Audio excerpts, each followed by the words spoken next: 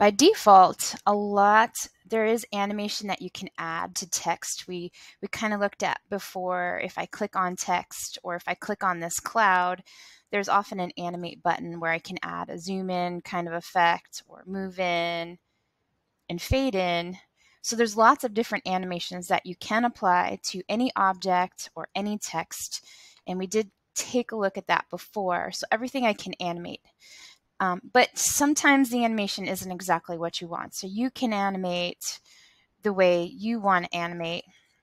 So I want, in this case, a kite um, that is going to fly from the bottom of my social media post up through the top. And um, I want my own animation. And this isn't limited to like just a frame by frame anim- animation, which is um, which is what I'm about to do. I'm interested in showing like you can have these clouds floating from left to right or even getting bigger or smaller. You just have to decide what you want to do and and go for it. So what happens is I set up my um, social media post because I want this inspirational quote, um, but I want a little animation with it. And I can choose to use those animated effects, but I want my own animation. So over here with the pages, let me close out of this. There's an area that says pages. And if I click on these three dots, I can duplicate. So I just made a, a, copy of what I have. So then you make the changes on the second slide that you need to make. So I want this kite to start flying up uh, um, throughout here. And so I'm going to duplicate this again move my kite a little bit more. Duplicate it.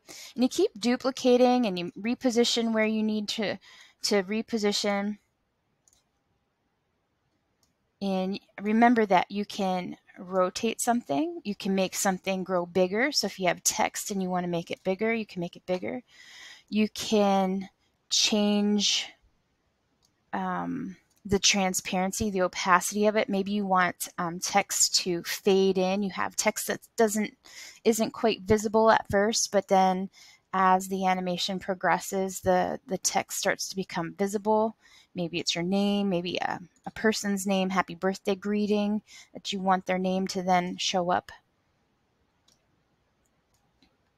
And for the sake of this demonstration, I am kind of being a little bit not so picky but I do want to get this kite out of here. There's a tail there too, so I'm going to keep animating till the kite is out of there. So I did have to zoom out a little bit.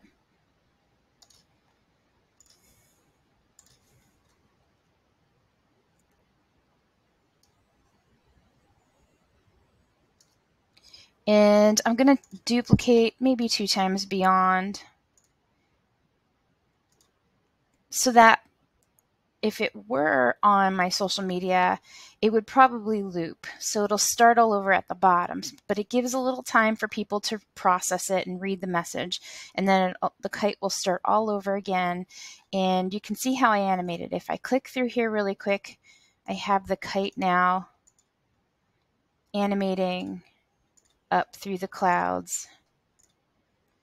And just like this quote, your imagination for animation is unlimited. You do what you need to do.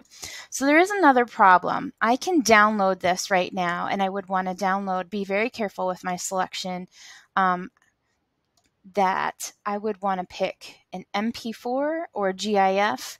Um, if there's no sound, I would pick the GIF. If there would be sound, I'd pick the MP4. But to be totally honest, I know something is wrong with this right now, so I want to fix that.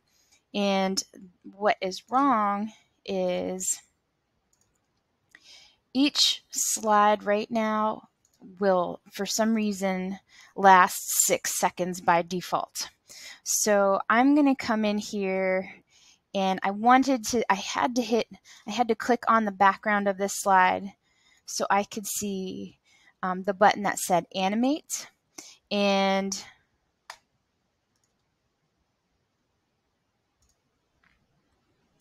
this animate button, however I get there. and I'm going to go back in here and pick none. But as soon as I hit that, I got this like little time reference at the bottom of each slide.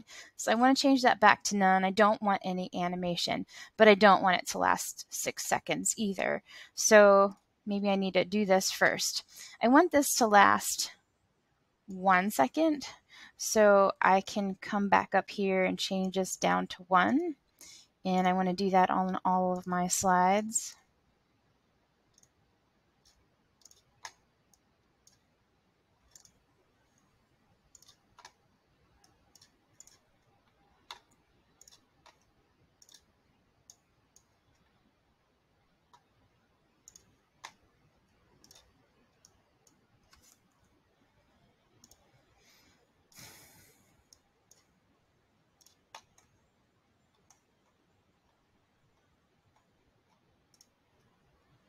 Taking a little time. So I'll give you some ideas while I'm coming through the rest of these. Some animations. Um, I think I mentioned you can fade in and fade out text. This works well also for like if I want a background um, and I want some blobs. I have some circles on the screen, in this case maybe these clouds, and I want them moving around. I can start moving them around as well.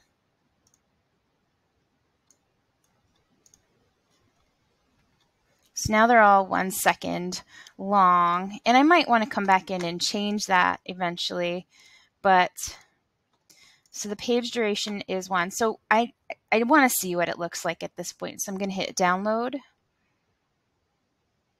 And I'm going to download as a MP4. Does take a little time to download because it's downloading every single page and there were 13 pages.